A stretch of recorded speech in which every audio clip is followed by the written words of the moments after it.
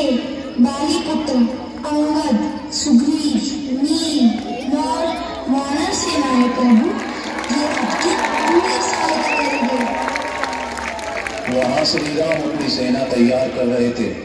यहाँ रावण अपनी मृत्यु का कारण जान रहा था। बोल शिवराज बोल आज होगा रावण के विनाश का कारण कोई असर कोई राक्षस जब थे। उल्टी गिनती आरंभ कर लो रावण अपने घर पर अहंकार करने वाले। अब देखेगा तुम्हारी शक्ति का प्रकोप। मैं तेरे विनाश का कारण बनूं मुझे तुम्हारी सहायता की आवश्यकता है। तुम्हें मेरा एक संदेश सीता तक पहुंचाना होगा। केवल तुम ही हो जो लंका तक उड़कर जा सकते हो। तुम ये मुद्रिका मेरी सीता को देना।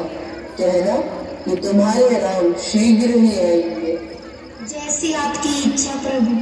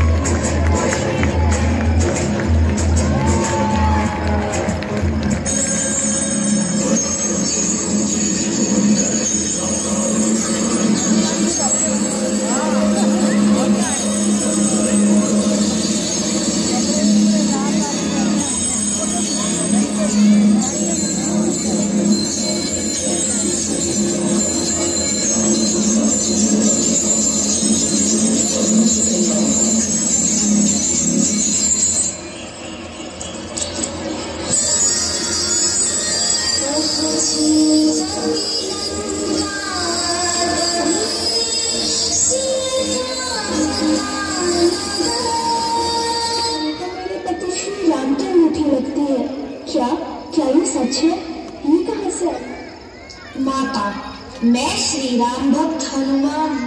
हनुमान कैसे मेरे पति श्री राम वो दिन रात आपको याद करते हैं।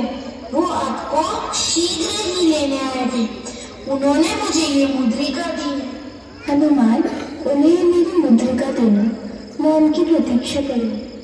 प्रणाम माता।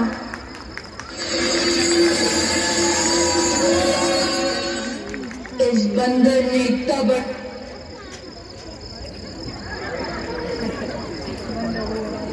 वरना वरना क्या बंदर? सैनिकों आग लगा दो इसकी पूछ पर।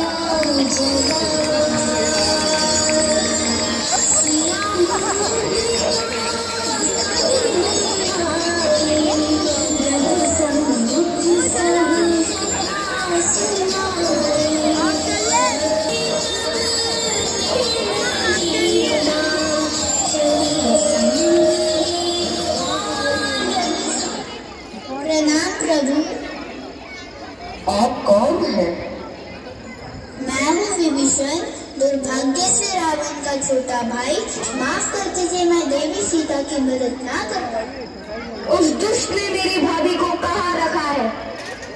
शोक वाटिका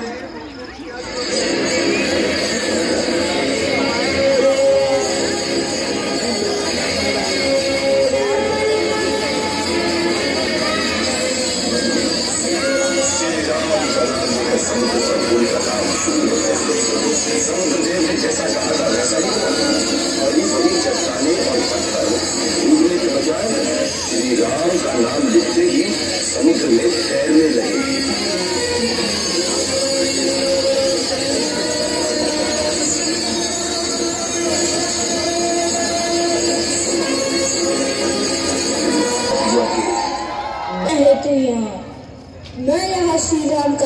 प्रस्ताव लेके आया। तेरा राम युद्ध से पूर्व ही डर गया। लंका नरेश, तुम्हारे लिए है। तुम तो मेरा पैर तक नहीं हिला सकते। तेरे पैर को तो मैं यूँ ही हिलाता हूँ। कर रहे हैं लंकेश। पैरों में ही गिरना है तो श्री राम के चरणों में गिरो युद्ध का दिन आ गया वानर सेनु श्री राम का कराए। लक्ष्मण और मेघनाथ। दोनों बड़े ही बलवान एक से बढ़कर एक शक्तिशाली।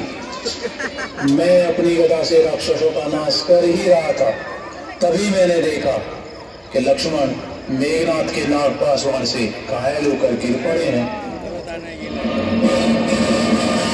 तो इसलिए तुम मेरे साथ वन में नहीं आए थे। पहले लेके आए। अपना ही विनाश क्यों चाहते हो? लौटा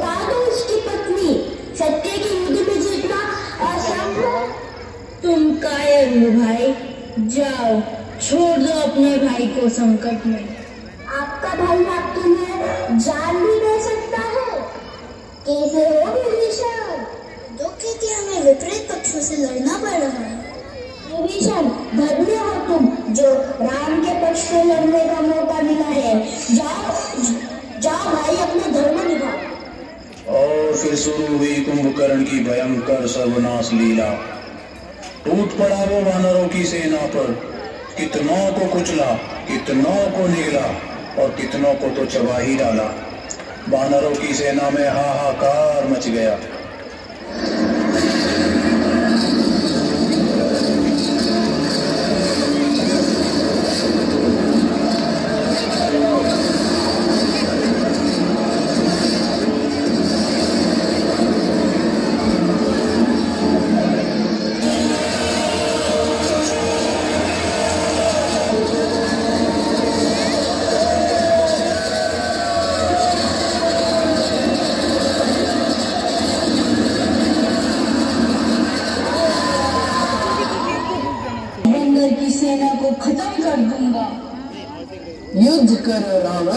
आज मैं तुम्हें तुम्हारे पापों से मुक्त कर दूँगा।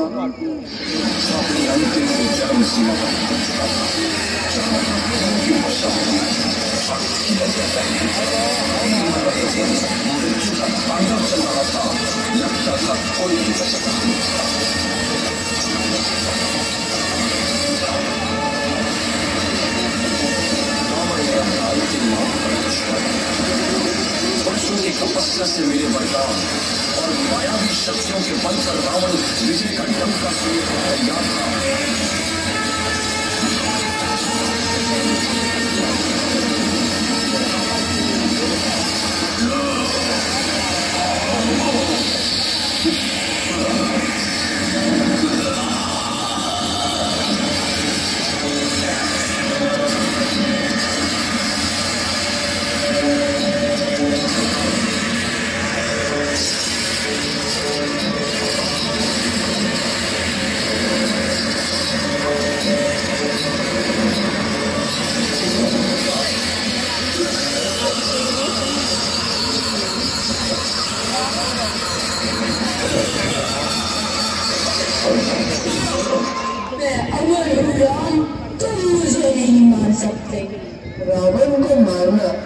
असंभव प्रतीत हो रहा है।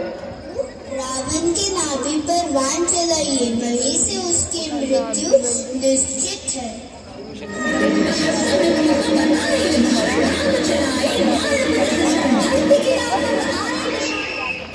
लक्ष्मण रावण जाकर उनसे कुछ ज्ञान प्राप्त करो। भैया शत्रु केवल रणभूमि में था परंतु वैसे रावण चारों वेदों का ज्ञाता है। जाओ, उनसे कुछ शिक्षा प्राप्त करो। अवश्य भैया। अब मेरे अंत समय में मैं तुम्हें क्या शिक्षा दे सकता हूँ? केवल इतना कहना चाहता हूँ कि अहंकार मनुष्य का सबसे बड़ा शत्रु है। इस पर नियंत्रण रखना आवश्यक होता है, वरना ये व्यक्ति के बाकी क्षेत्रों पर हावी हो जाता है। प्रभु, मुझे क्षमा कर दीजिए, मैं आपको पहचान नहीं पाया। जय श्री राम। महापराक्रमी, महाशक्तिशाली, चारों वेदों का ज्ञाता, मायावी, लंकाधिपति, रावण को हराया, उसी के अहंकार में। रावण की मृत्यु से संसार ये जानेगा कि धर्म की अधर्म पर, सत्य की असत्य पर, नीति की अनीति पर जीत सदैव निश्चित है। रावण के वध के पश्चात रामजी लक्ष्मण के साथ 20 दिन के बाद अयोध्या पहुँचे। अयोध्या आगमन की खुशी में पूरी अयोध्या नागरी को दीपों से सजाया गया और मनाया गया पहली बार दीपों का त्योहार दीपावली। तब से लेकर आज तक पूरे भारतवर्ष में दीपावली का त्योहार पूरी धूमधाम से मनाया जाता है।